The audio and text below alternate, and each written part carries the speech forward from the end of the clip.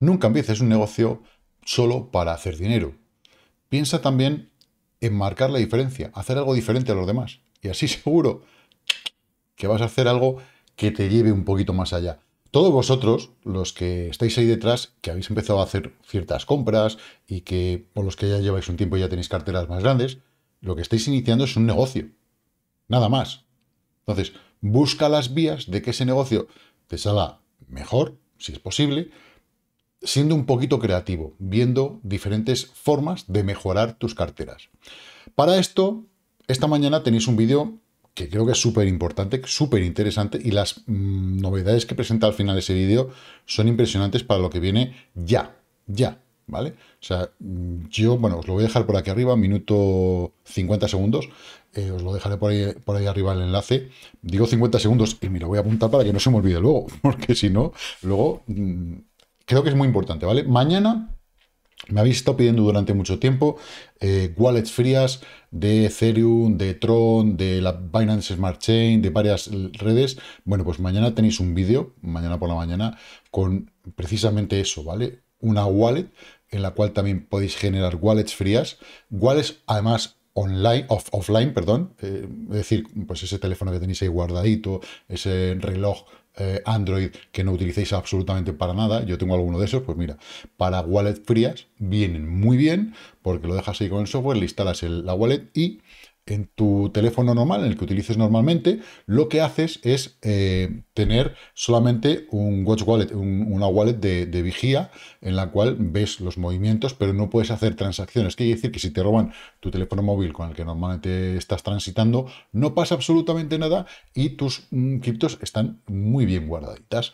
os, dejo, os dejaré el link de instrucciones, está ya grabado, está preparado, o sea que mañana a las 12 de la mañana tenéis ese vídeo. Por otra parte, ha habido gente que me ha escrito y os entiendo perfectamente, con lo cual tenéis razón y cuando la gente tiene razón, pues yo se la tengo que dar. Hay gente pues que lleva un tiempo ahorrando para intentar comprarse el curso, no sé por qué motivo, y eh, saben que cambio eh, un poquito, bueno, un poquito no, cambia un poco bastante, pero pueden acceder a esos mismos servicios a un precio un poco más económico. Entonces, el día 19, la semana que viene, es mi cumpleaños, que voy a hacer durante una semana, solamente y única y exclusivamente una semana, y lo voy a hacer porque hasta finales de enero no voy a volver a abrir plazas, no hago el lanzamiento de, los nuevos temarios, etcétera, etcétera. Entonces, durante esa semana, del 19 de diciembre al 26 de diciembre, si alguno se lo quiere regalar por Navidad, vais a tener un precio especial de Navidad para el que quiera acceder al curso con el método de siempre. Vais a poder acceder a los servicios que tiene el curso nuevo. Lo que bueno, el curso nuevo tiene un precio diferente y bueno, tiene algunos bonus extras que, bueno, pues quien lo quiera acceder, pues tendrá que esperar a, enero, a finales de enero, ¿vale? Pero yo sé que hay gente que está esperando ahora que para comprarlo, así que os lo voy a respetar porque creo que, oye, os, os lo habéis ganado al haber estado haciendo ese esfuerzo. En fin, la manera de empezar hacer lo que sea es dejar de hablar y hacer. Así que comenzamos.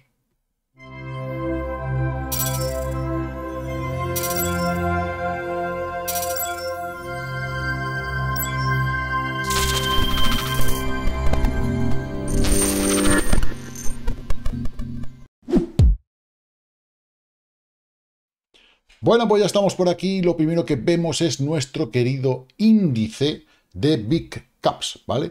Em, es muy similar al índice de nuestra cartera, como podéis observar, eh, la línea bueno, la, línea horizontal de este triángulo que hemos roto. ¿Y por qué os, mm, por qué os pongo esto? ¿vale? Porque estamos en un momento eh, muy parecido a la parte inferior de todo este rango. Quizás estamos un poquito más abajo, pero sobre todo quiero que volváis otra vez nuevamente, ¿vale? Con vuestra cabeza a echar perspectiva de qué pasó después de esta subidita así, pa, más peleona, como lo podéis ver, que es la que vamos a tener ahora, eh, hasta pasar el, prácticamente el máximo histórico de Bitcoin. Y a partir de ahí, ¿qué hizo esto? Desde enero del 21 hasta mayo del 21, enero de 21 a mayo de 21, este índice bueno, lo que son las principales criptos, subieron un 535%, ¿vale? Por eso yo en la cartera he dicho, quiero hacer un mínimo de un por 3, pero espero hacer un por 5. Por esto, nada más. Simplemente en ese momento, ¿vale?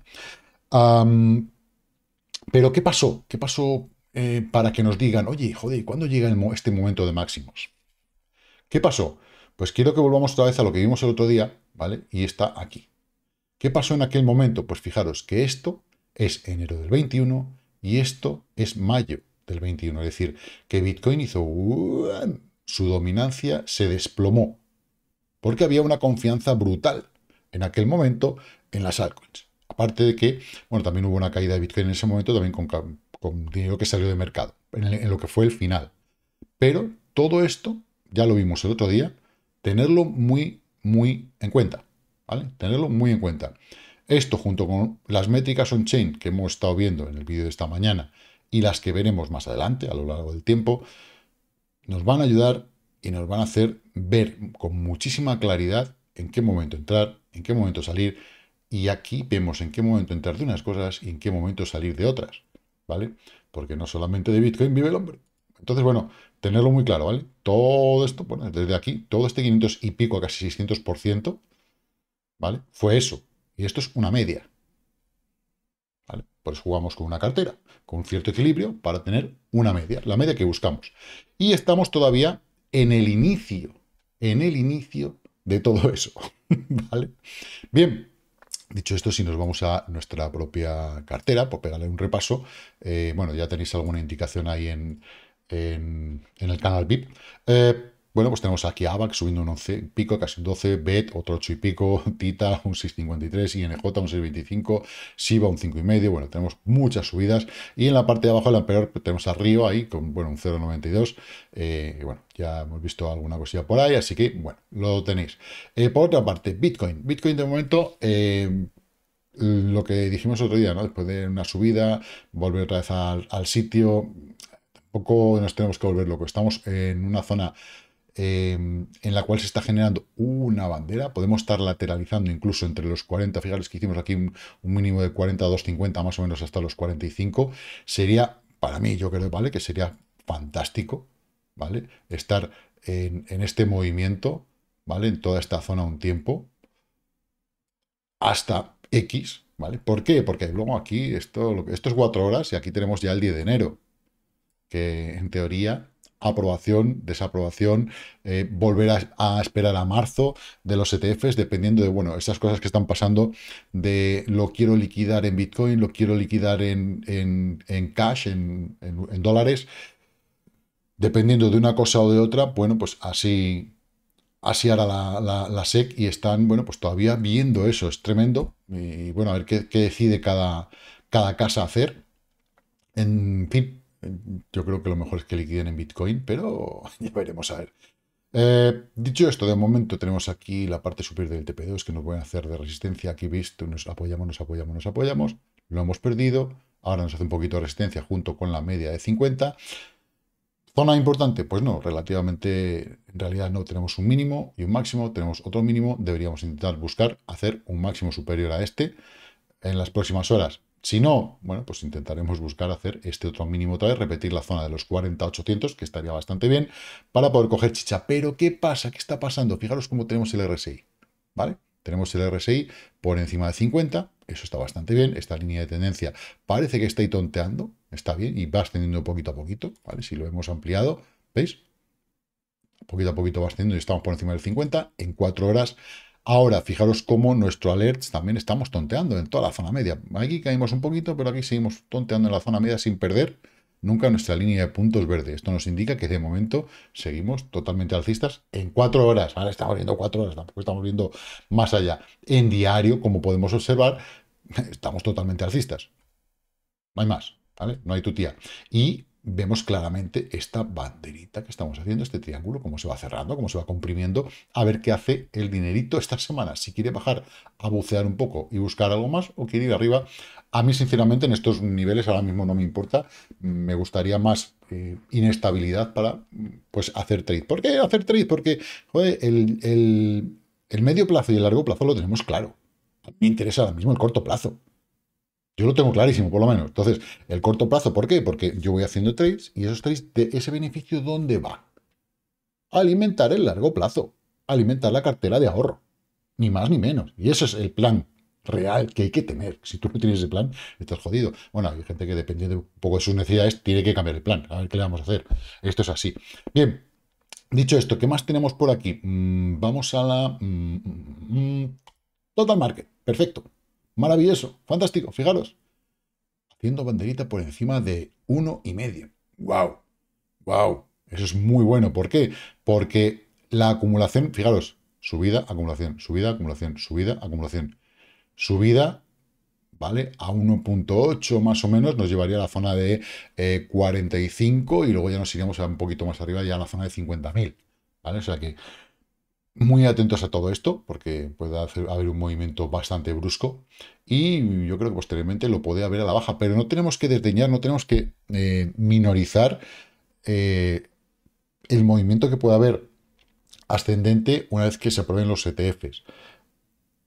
El retroceso, evidentemente, yo creo que va a ser bastante evidente, pero la cuestión es cuánto le van a permitir retroceder, cuánto mm, no van a estar dispuestos también a comprar, a arriesgar y a decir, tío, si luego lo quieres comprar lo más caro y a tomar por saco. Porque al fin y al cabo yo voy a lanzar un ETF, si el ETF no lo voy a pagar yo, si lo vas a pagar tú como inversor.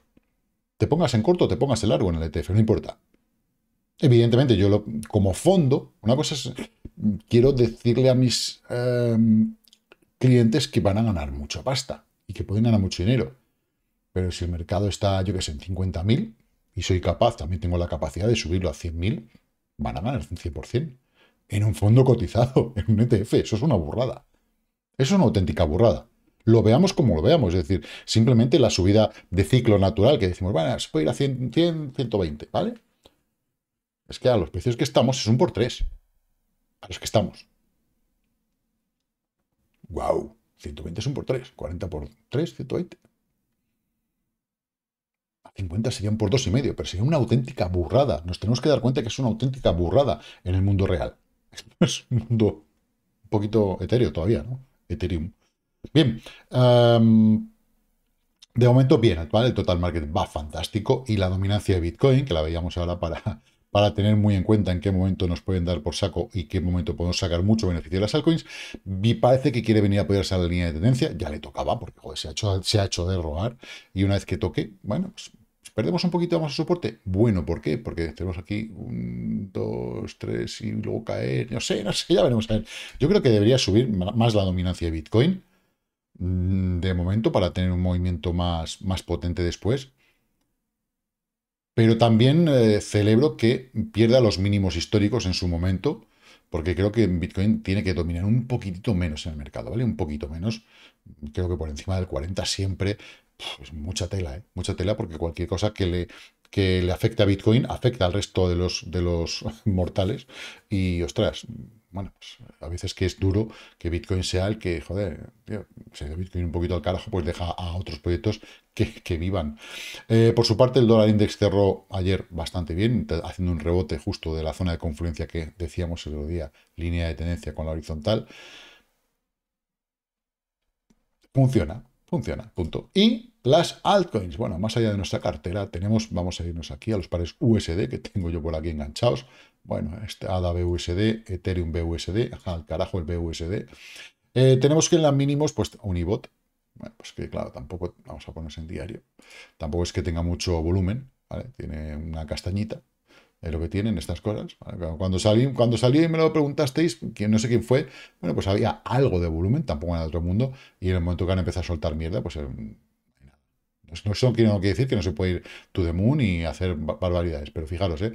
de 240 hace unos días, como quien dice, ¿vale? en verano, a, ahora, que está en 66, un por cuatro menos, ¿vale? Y a partir de aquí le toca crecer. ¿Puede hacerlo? Pues seguramente, claro que sí. Y más, más ahora con el mercado que viene. Cirrus, TRB, 10% a la baja. Bueno, a la baja. techo, dos techos, un poquito más abajo. Esto no es bonito, sobre todo si se viene aquí pierde el mínimo, ¿vale? Eh, pero bueno, yo no lo creo, creo que está muy potente y lo único que va a hacer va a seguir cargando el tirachinas como ha estado haciendo para meter otro pepinazo. Eh, si el mercado se lo permite. Root, me gusta Root, ahí está. Después de otro pepinazo que metió al alza, retrocediendo, como debe ser, para tener un, un equilibrio, una, subida sana, ¿vale? Eh, Cel también por aquí. Polis, los Polis 526. Ay, Dios mío. Ay, que casi se hunden. Fijaros, ¿eh? Hoy han metido un pepinazo hacia abajo, pero el TP2 aguanta muy bien. La gente enseguida ha comprado, ha aprovechado muy bien la oportunidad y vuelven otra vez para arriba. Fijaros que lo intentaron tirar una vez, acabó en verde, otra vez, otra vez, casi prácticamente dos dojis, y ahora lo intentan tirar otra vez con más fuerza, pero recupera y está haciendo un martillo. Vamos a ver cómo cierra y vamos a ver cómo responde la semana que viene, porque está en un punto bastante, bastante interesante. ¿Para qué? Para poder ir a por ese TP4 y ese, bueno, pues objetivo eh, global que tenemos eh, un poquito más arriba. Eh, aunque no llegue, yo creo que más o menos se da por hecho que estamos ahí, que debemos de acumular en esta zona, entre el TP2 y el TP1 global, para ir a por los 1.32. Los 1.32 estamos hablando, estamos, que, estamos hablando que estamos en 54 centavos. Ojo, ¿eh? Y que el 1.32 es un objetivo intermedio eh, de no muy largo plazo. Yo creo que, que, en enero estará por ahí. Fijaros dónde estamos, ¿eh? Ostras. Luego ya tenemos ahí los dos y pico y ya nos vamos a la zona de tres y pico. Ojo, hay mucha pasta aquí para mover y no se están quedando cojos, ¿vale? Los señores de, Polis y, Star Atlas lo están haciendo bastante bien, por lo menos visualmente y, evolucionando, parece que se está moviendo la cosa. Así que, bueno, pues algo para estar por ahí pues un poquito de pastilla. Bonk, que ha sacado bastante pasta, eh, bueno, pues ahora le toca reposar sobre la zona objetivo, inclusive un poquito más abajo, a ver si, si para un poco, porque madre mía, está tremendo. Eh, Titan Arena, Melos 262, pero bueno, está dentro de, joder, es que el pepinazo que ha metido ha sido tremendo, un 20% el día de ayer, yo he estado subiendo otro 20, aunque luego se ha desinflado, así que bueno, ahí está, y eso ya en cuanto a negativo, poca chicha más, eh, vamos a la parte más positiva, que tenemos a ICP, señores, computing este, y que, te cagas, pues ahí rompiendo, rompiendo, eh, yo creo que, mm, bueno, a ver, creo, ah, el movimiento que yo pensaba que iba a hacer aquí, lo ha hecho aquí, pues, ¿qué le vamos a hacer? Esto ya lo vamos a quitar porque ya no, no sirve. Y este punto que he dibujado aquí tampoco. Eh, debería caer más o menos a la zona de 9,5, consolidar la subida. Bueno, ya sabemos un poquito cómo funciona Filecoin, otro que nos da sorpresa arriba. Me encanta que estas vayan bien. O sea, yo Filecoin a mí es una, moneda que me gusta. Los que lleváis mucho tiempo en el canal ya lo sabéis. Lo está haciendo bastante bien. Creo que la zona de 638 eh, va a ser la zona objetivo y a partir de ahí una ruptura nos va a llevar a la zona de los 9. Eh, más o menos. Me gusta, yo lo tradeo contra, contra Bitcoin, pero maravilloso. O sea, Filecoin es, genial y bueno, eh, yo tengo, los tengo desde hace muchísimos, muchísimo tiempo. Eh, creo que es algo que, bueno, los tengo, los he tenido, ya, ya, ya, ya murieron en el ciclo pasado, pues murieron, se convirtieron en otra cosa y ya sabéis, no se crea, no se destruye, pasa de bolsillo en bolsillo. Y OTX 18%, muy muy bien. Igual, vuelve otra vez al puntito donde estaba, pero ahora lo importante es el cierre, ¿vale? Que el cierre quede por encima de los 0,4, ¿vale? De los 4 centavos de dólar. Tiene pinta de que se va a quedar en torno a los 4,5, llamando la puerta de los 5, que um, knack, knack, knocking on heaven's door. Una vez que lo rompa, el diablillo se va a escapar y se va para arriba. Noodle, 17%, muy bien, igual, otro que en una zona muy similar, ruptura, y ahora a consolidar movimiento. PIR, 16,72, ya hizo, ¿veis? La banderita, pero ha querido seguir, rompió y bueno, sigue se vino, fijaros a la punta, que curioso, ¿no? Y otra vez intenté ir al alza, es una zona de acumulación, esto ya los podemos quitar porque, bueno, esto ya se rompió, así que tampoco es importante. Eh, muy bien, lo está haciendo muy, muy bien, zona de resistencia, justo ha tocado, ¿vale? Justo empieza donde apoya aquí, empuja aquí. Pues a partir de aquí tiene que empezar a acumular para romper toda esa zona. Y ojo, porque se nos va a ir a los 15.8, va a hacer un, 100% de subida cuando eh, reviente al alza. O sea que mucho, mucho ojo con PIR. Eh, ahora hay 16% también de IDS, ACX, AVAX, 12 y pico, o sea, zona de resistencia, se la está comiendo, se la está zampando, la está reventando.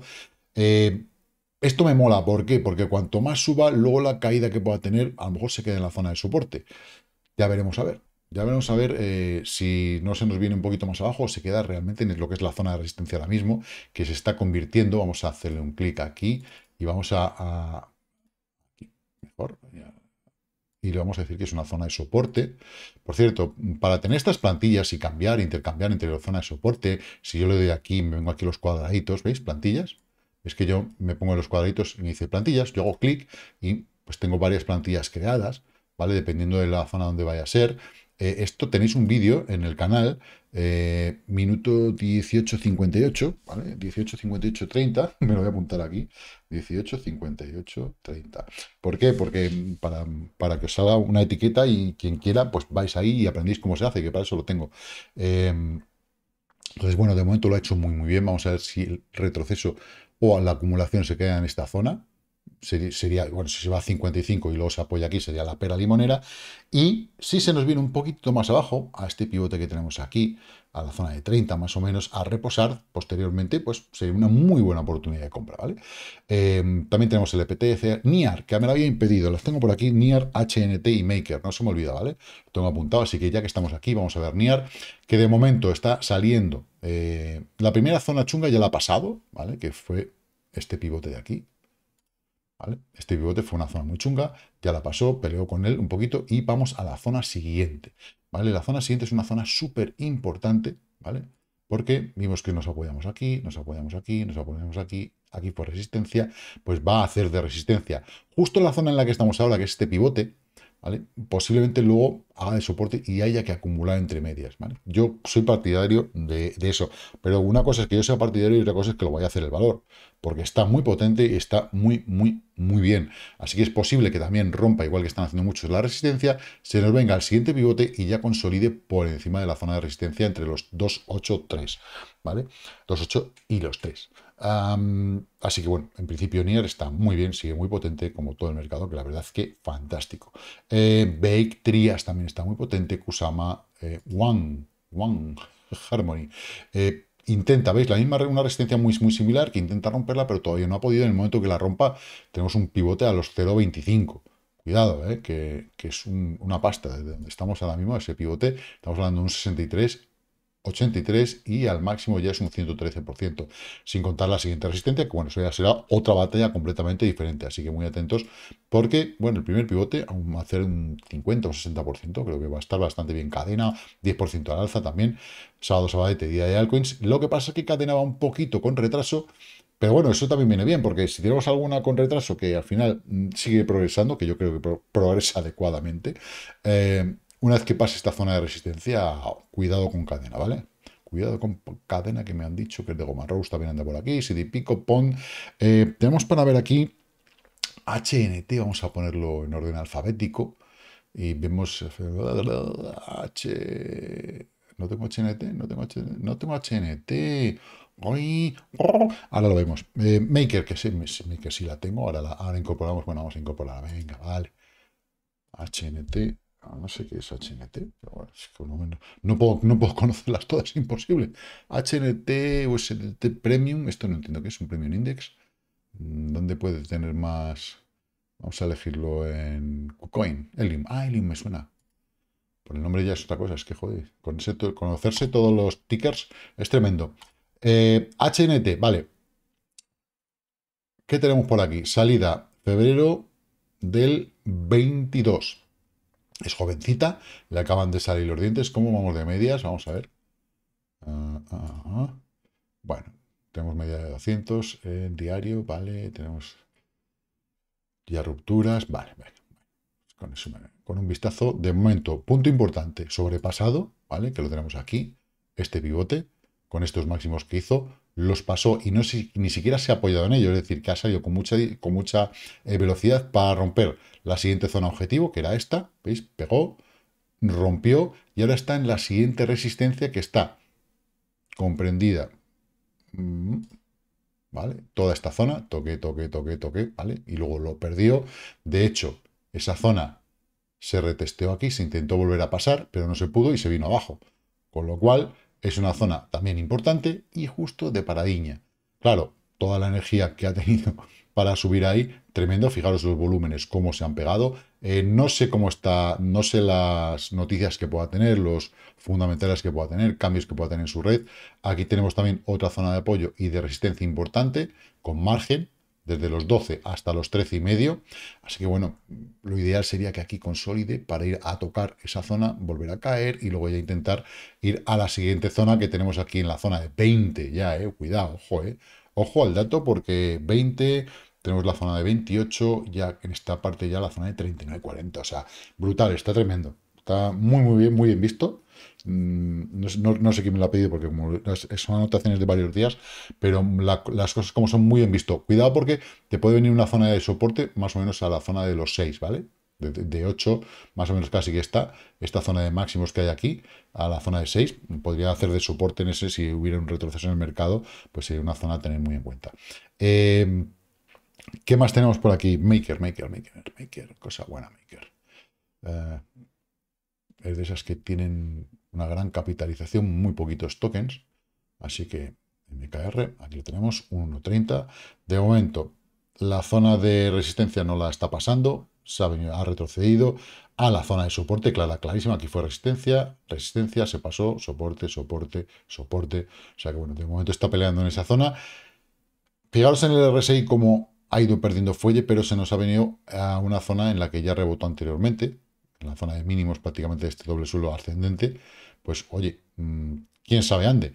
Que se nos viene aquí abajo del todo, yo soy partidario de comprar de aquí aquí. Esta es la caída que yo suelo comprar. No, compro la caída desde aquí arriba ni desde aquí arriba, ¿vale? Ni se me ocurre. Desde aquí, bueno, pues es posible. Quizás el primer toque si viene aquí. Pero claro, como esta ha sido una zona ya de rebote anterior, pues es posible poder empezar a comprar ahí, pues con 1, 2 y 3, la picadora Molinex, y a partir de ahí, Dios dirá. Eh, pero bueno, de momento tenemos un techito, dos techitos, tres techitos más o menos en la zona. Relax y paciencia, pero si no es mala, para mí no es mala zona de compra, la siguiente zona de compra ya justo está, está es que está marcada aquí de este momento anterior. Yo hice una compra, ¿vale? En esta zona, lo he vendido, evidentemente ya lo vendí, pero bueno, a partir de aquí esto mismo se puede traspasar a 1. Opa, uy, va, que lo hago crecer, señor. 1, 2 y 3 aproximadamente, ¿vale? No, no tiene ningún misterio más. No tiene ningún misterio más en ese aspecto, ¿vale? ¡Ay! Joder, qué carácter tengo. No lo voy a borrar, ¿eh? o sea, que no penséis que voy a borrar. Ni de coña. Bueno, ya lo estoy viendo. Entonces, bueno, de momento, Maker Soporte 1 en la zona de 1260, soporte de compra 1125, ¿vale? Totalmente. Aunque tenemos, yo ya sabéis que me fío más de lo que veo un poquito aquí y en confluencia con los, con los soportes. Hay que armar todo en, conjunto, no vale un indicador, no vale un soporte, no vale una... ¿vale? Son más cosas las que, hay que fijarse. Como objetivo de, de, toda esta caída, si ya sale desde aquí al alza, que es probable, es probable, eh, pues mm, podemos ver que es justo la zona de resistencia, el TP1 en la zona de los 1700. ¿Vale? Luego ya si la rompe, bueno, pues ya tenemos ahí la zona de 1950. Pero de momento, pensando en la zona de resistencia, que es la primera que tenemos que pensar. ¿Por qué? Porque es importante. Fijaros que toda esta banda fue una resistencia, apoyo, apoyo, apoyo, apoyo, apoyo que raro suena todo esto. Más apoyos, una resistencia, nos mandó a tomar por saco y ahora que le hemos estado tocando, el día que la rompamos, ¡pum! Nos seguimos a la zona de 2500, entre 2300 y 2500 de una forma bastante, bastante fácil. Así que tenerlo en cuenta, el que le guste tradear Maker, a mí me gusta tradearla, así que ya sabéis. En fin, los cortos de Bitcoin de momento intentando bitcoinear, la zona de resistencia que tienen, pues no la, no la pasan, hicieron otros nuevos mínimos históricos, y ahí siguen. El día se está comprimiendo todo esto mucho, el día que reviente.